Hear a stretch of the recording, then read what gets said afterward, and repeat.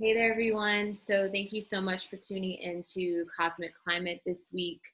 I, um, before I jump into what's going on, I just want to let you guys know that I am still offering 25% off my in person and distant readings.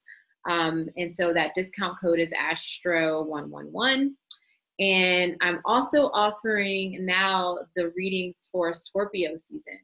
So with an emphasis on the Mercury retrograde coming up. And so that is um, both of the the booking links will be in the description of this video. And yeah, how'd you guys enjoy this full moon? It was pretty crazy for me. Um, I felt like I felt it all throughout the week and even a little bit afterwards. Um, but overall, it was definitely needed energy. There's been a lot of intense energy with the cardinal signs and cardinal houses. So, any of you all that have placements um, in those houses, Pluto and Libra generation, definitely um, feeling a lot of pressure at this moment. Anyone who has like strong cardinal energy in their chart, I'm sure you are feeling the heat right now. So, I want to look at the transits for um, October uh, 15th through October 20th. And basically, the big thing I want to look at, or what's going on that's major, I would say, is Mercury um, is making the most aspects. Mercury is going to go retrograde October 31st. And so, right now, it, it's in its pre shadow period, which means that it's slowing down in order to go, you know, appear to be going backwards, appear to go retrograde. And so it's interesting. I feel like with Mercury and shadow and Scorpio, that's kind of like a theme that's coming up. It's like a lot of our shadow want, you know, it could be what you've been working on since the spring and summer with all those retrograde planets, or just something new that you need to work on where it's like it's not like new, but more so like a different, you know, kind of like karmic thing that's come through. Um, is really kind of on the forefront right now. And I tend to notice in my environment and just within my, my own experience is that when these planets are, are approaching their retrograde cycle or when they're shifting, making a major shift or aspect, I usually feel that before and after.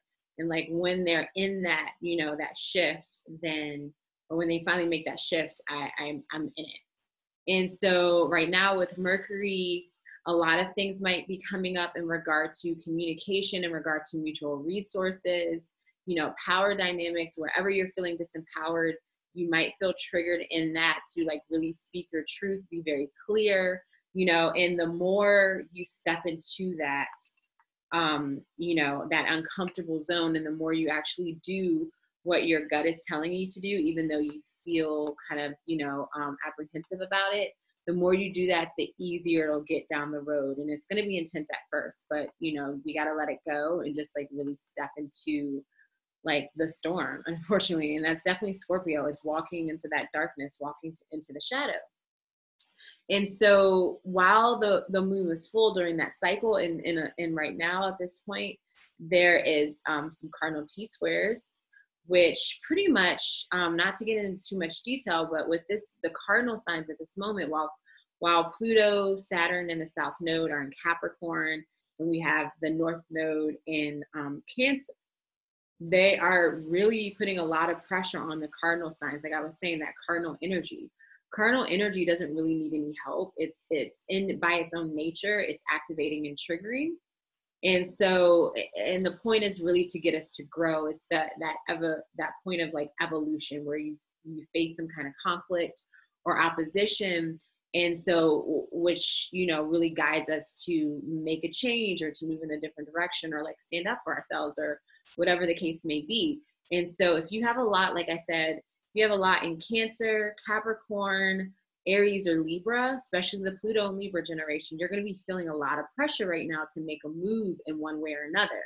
In addition, there's a water trine happening, very loose trine involving Pisces, Cancer, and Scorpio.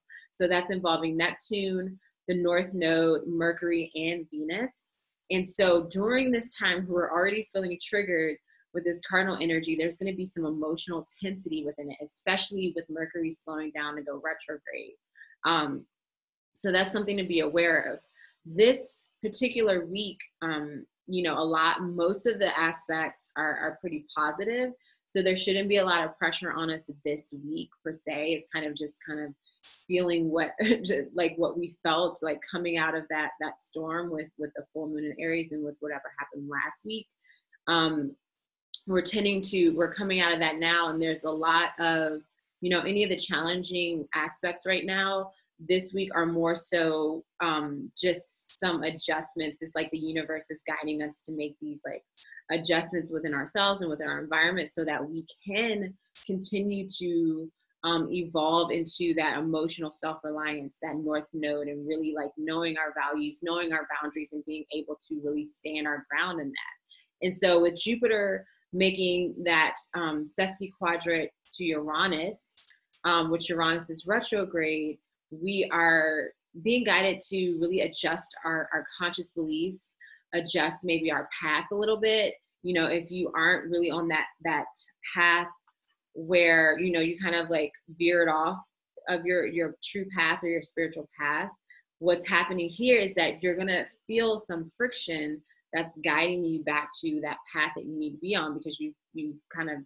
um, took too much of a detour in a sense and so uranus uranus its main intent is to liberate to individuate to like set us free.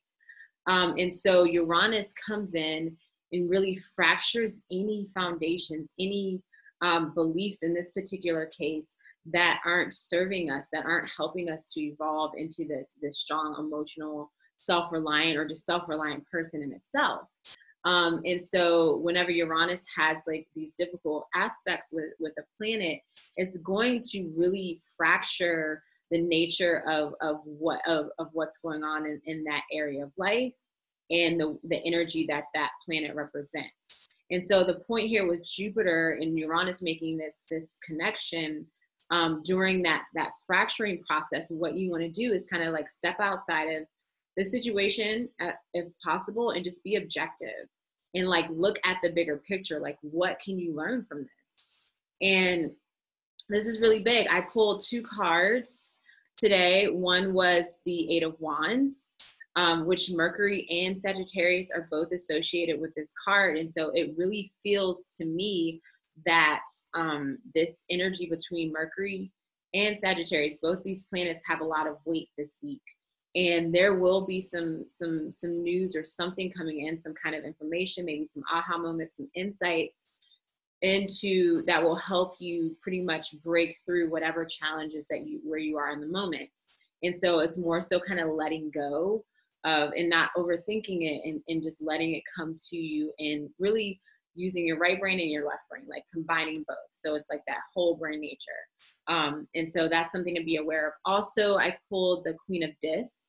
And so to me, that that signifies like still putting in the work, making sure that you're putting in the work to help yourself. You know, it's with that that queen, it, it's more of like that receptive energy.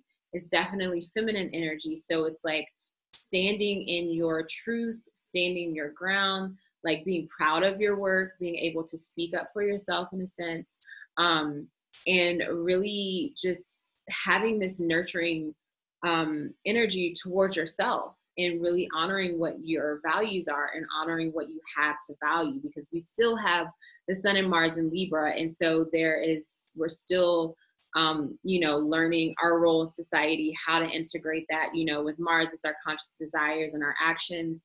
With the Sun, it's it's more so about our creativity and actualizing, you know, our creative endeavors or you know our creative purpose. So it's that kind of that first step. So it's like we're still working to integrate ourselves into these communities, and so just having compassion for yourself is really really important. Um, yeah, so I feel good about that. I think that that that um, kind of wraps up the energy of this week. If you guys have any comments, questions, definitely leave them below. Otherwise, I will be talking to you guys in the next one. Please take care. Love you guys.